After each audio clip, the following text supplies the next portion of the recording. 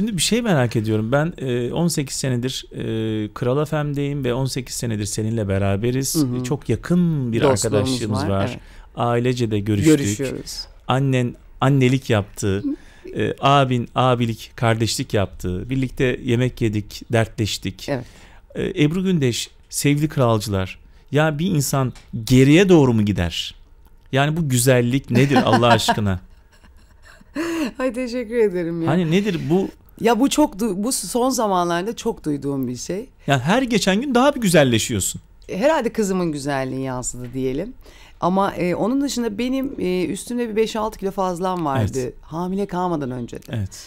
E, sanıyorum onlar e, diyet yaptığım için ve e, çok düzgün beslendiğim için gitti. O e, kilo vermekte zannediyorum yansıdı diye düşünüyorum. Bilmiyorum. Şimdi Alara bebek. Evet. E, Alara bebekle sen de mi yeniden doğdun acaba? Olabilir. Niye olmasın? O benim çok istediğim hani bir şey. Yeni bir milat olabilir mi bu? Ee, sanıyorum Demir Attım Yalnızlığı nasıl bir milatsa benim evet. hayatımda. Evet.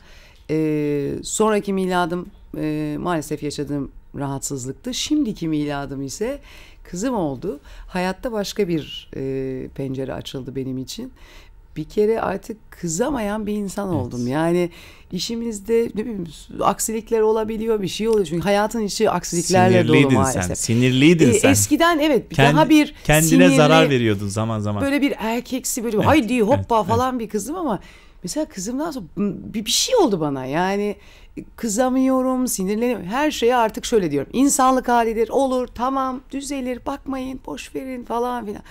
Yani belki de yaşın da tabii biraz getirdiği bir olgunluk. O zaman hani çocuktuk. Evet. Şimdi biraz daha e, olgun yaşın insanıyız. O yüzden hani daha başkalaştım.